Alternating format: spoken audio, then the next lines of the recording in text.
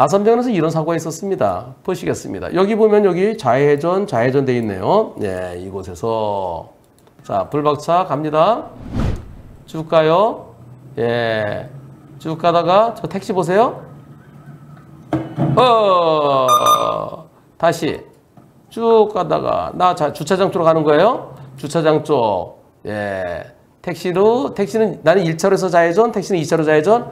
쭉 가다가 깜빡이 깜빡이 켰나요? 깜빡이 켜도 안 보이죠? 안킨 것 같아요.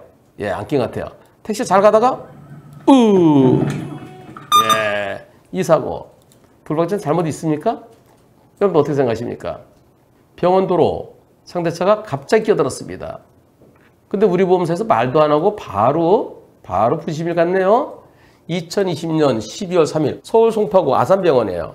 변호사님, 아 이런 글 참 많죠. 평소에 변호사님 유튜브 보다가 제가 제보를 하게 될 줄은 꿈에도 몰랐습니다. 전에 영상 올려서 채택이 안 됐었대요.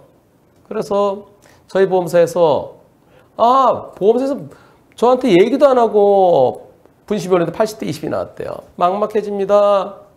올려주신 영상 갑자기 들어오는 거죠. 100대 빵이잖아요. 근데 택시보험사가 100대 빵 아니라 우겨도 소송까지 갈 생각이었는데 우리 보험사에서 저한테 상의도 없이 분심인원에서 8대 2를 받아버리고 말았습니다. 그래서 제가 한 변호사님 영상에 100대 빵인데 왜 제가 8대 2를 받아야 되나요? 했더니 한 변호사님 영상은 아무런 변별력이 없다고 하네. 이런 싸가지.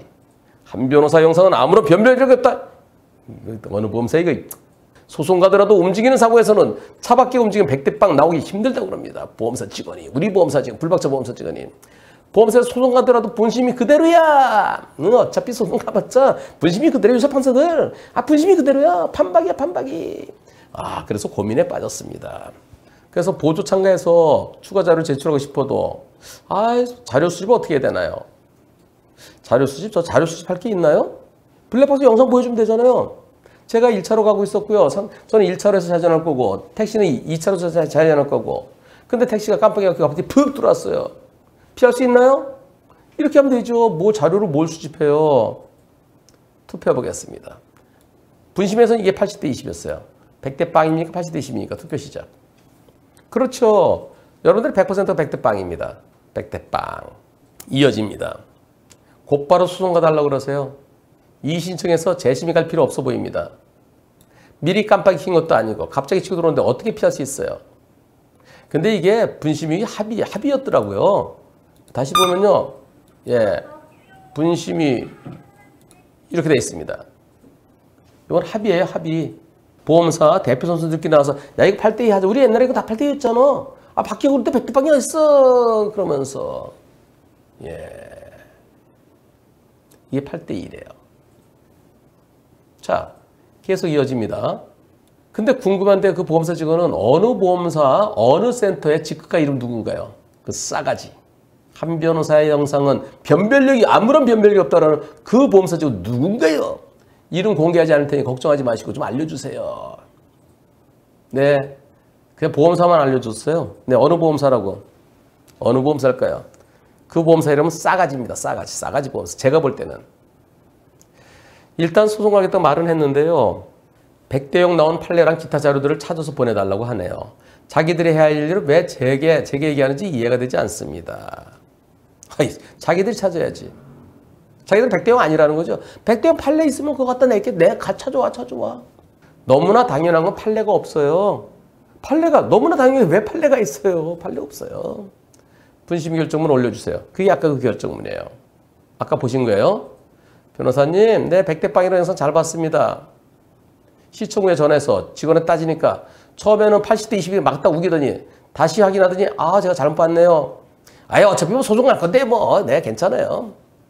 금감원에 민원을 넣었더니 그제서야 차장이란 좀 더 높은 분이 전화 와서 죄송하다고 담당자 교체하고 소심이 다음에 소송 가겠다. 네, 그 아까 그것은 그 협의 대표자, 예, 대표자 협의회에서 보험사 직원들끼리 그냥 자기들끼리 한 거고 변호사가 한 게 아니었어요. 그래서 소시민은 가야 된대요. 소시민 가겠다고. 아, 근데 꼭 소시민 거쳐야 되나요? 네, 상대가 오케이, 오케이 하면 바로 갈 수 있고요. 그렇지 않으면 소시민 거쳐야 돼요. 상대가 곧바로 소송 가는 동의하면 되는데 안 해주면 소시민은 거쳐야 됩니다. 네, 알겠습니다. 나중에 또 여쭤볼게요. 얼마든지 질문하세요. 변호사님, 그동안 별일 없으셨죠? 그 사고 때문에 질문 드립니다. 어, 담당자한테 소송할 때 제가 변론길에 보조 참가 신청하겠다고 얘기를 하고 날짜 정해주면 말씀드리겠다고 해서 기다리고 있었는데 아 근데 오늘 전했더니 내일이래요 내일. 미리 미리 재판 날짜 정해주면 제가 보조 참가 신청서 내고 그러려고 그러는데 내일이래요. 아이 큰일 났네. 이런 이런 이런 이런. 이게 언제 몇 시야? 아이고 시간도 6시 40분 끝났네. 아 그럼 제가 보조 보조 참가 신청 못 하잖아요. 그때 새로 다 바뀐 담당자도 난감하네. 도대체 이렇게 일하는 보험사가 어딘지 맘 같아선 다 보험사 이름 퍼뜨리고 싶어요. 어떻게 될까요? 예, 내일 아침에 재판에 가셔요. 가서 판사한테 그 사건 번호 부르면 우리 보험사 지금 나갈 거예요. 그때 네 판사님 저 보조 참가 신청하고 싶어요. 한번 해보세요. 받아줄 수도 있어요. 네, 안 받아줄 수도 있고요. 아 미리 내시면 안 받아줄 수도 있고 혹시 받아줄 수도 있어요. 아 네, 알겠습니다. 그렇게 하면 되겠군요. 변호사님, 법원에 갔어요. 부랴부랴 보조창을 시청 작성해서 재판 시작 시에 판사님께 제출했더니 흔쾌히 받아주셨습니다. 우리 보험사 직원 변론할 때도 짧지만 짧게 얘기를 했어요. 짧게. 나도 얘기했어요. 그런데 판사께서 추가로 하신, 하신 말씀 있느냐? 그래서 네, 없습니다. 그리고 어, 또 저한테 자, 지금 법원에서 낸 자료들이 이런 건데 혹시 빠진 거 있으면 더 내세요. 그래서 어, 판사가 아주 친절하네요. 그러면서 법원이 저 우리 저 보험사에서 낸 증거까지 저한테 확인시켜 주시더군요. 판결은 11월 24일입니다. 또 글 남기겠습니다. 다행이네요. 네. 네, 판사가 보조상을 신청 받아줘서 다행이네요. 준비서면 써내셨나요?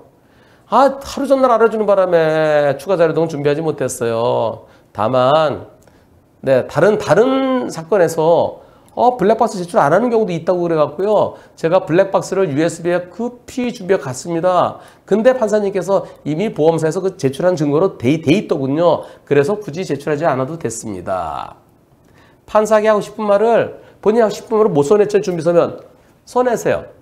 변론 종결 후에 써내는 준비서면은 참고 서면이라고 하면 참고로 이거 참고해 주세요. 변론 종결 이후에 내는 그런 서면을 참고 서면이라고 합니다. 참고 서면을 제출하시면 좋습니다. 안녕하세요, 변호사님. 허허. 이틀 전이네요. 12월 1일 날. 판결 선고가 11월 24일이라 그랬잖아요. 판결 선고 후 모바일 판결문부리가 승소라고 떴어요. 승소. 그럼 이게 100대 빵인 거예요? 무슨 소리예요? 승소? 원고 승이라고 돼쓴 건 100대 빵이란 뜻입니다.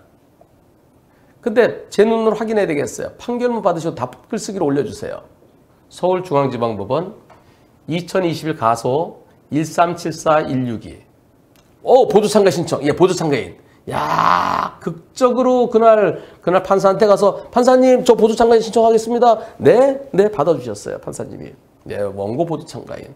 뭐 이렇게 원고 보조 참가인이 돼, 있, 돼 있으면 판사가 한 번 더 봅니다 기록을. 안 그런 판사도 있지만 기록 한 번 더 봐요. 그리고 써낸 거 다 봅니다. 왜냐면 아, 일반인이 썼는데 보험사 소송 담당자보다 더 잘해요. 그러면 얼마나 진짜 갸륵합니까? 한 번 더 봅니다. 11월 24일 판결 선고됐어요. 주문 얼마 주라고? 53만 4,120원. 근데 백대빵이라는 게 나오나요? 여기 있네요. 주문과 같다. 이게 주문과 같다. 이게 백대빵이에요. 즉 앞에 얼마 주라 그랬잖아요. 달라고 그런 거. 달라고 그런 액수랑 아까 주라는 액수랑 똑같아요. 주문과 같다. 100%인 겁니다. 그런데 한문철 변호사 영상은 아무런 변별력이 없다. 이런 싸가지 보험사 어딜까요? 어딜까요?